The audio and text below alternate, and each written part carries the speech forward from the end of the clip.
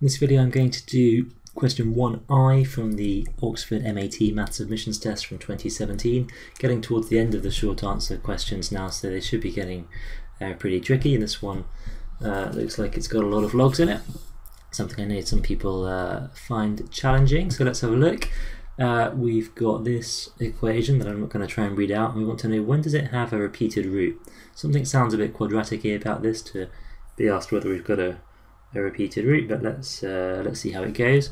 Um, I'm going to first just try and simplify down uh, some of these statements. I can see I've got a log b of b to the power of something here. Now, b to the x to the x is just uh, b to the x squared with the rules of indices. So log to the base b of that would just give me uh, x squared. Okay.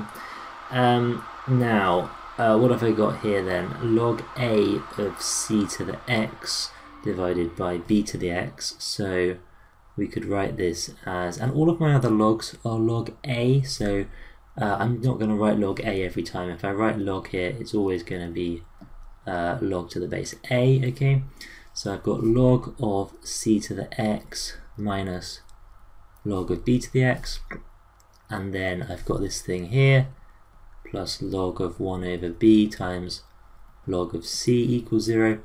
No rule of logs that allows us to deal with this final term here. You know, it has to be a log of um, uh, if, if, the two things were multiplied together inside the logs, we could write them as an addition, but not when it's two logs multiplied together. So we're going to have to leave that as it is.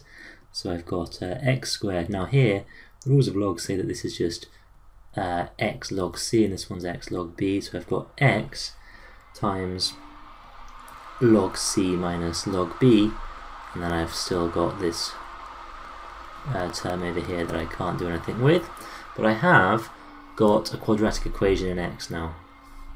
And so this has a repeated root when okay answer A here is b squared minus 4ac that's b squared minus 4ac in the quadratic coefficients not the b a and c we've got here. So I doubt that's going to be the answer. Probably there just to uh, put you off but the b squared minus 4ac here from the quadratic okay, is log c minus log b squared minus 4 times 1 times log 1 over b times log c.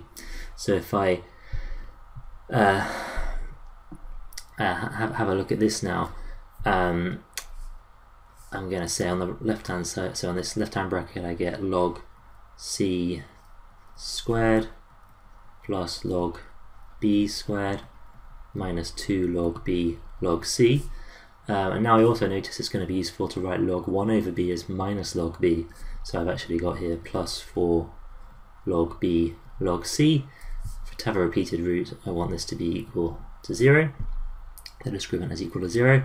So minus 2 log b log c plus 4 log b log c, so that's just plus 2 log b log c and then you see what I've got on the left here. Well, well everything I've got left here is just log b plus log c squared equals 0 so for that to happen we'll have to have uh, log b uh, plus log c equals 0 so that's log of b times c equals 0 which means that b times c equals 1 and we've got an answer here c equals uh, 1 over b and so that's that. Okay, so got to be confident with logs to deal with that one effectively and be fast with your quadratics. They're meant to be hard at this stage of the paper, so um, you just have to do your best.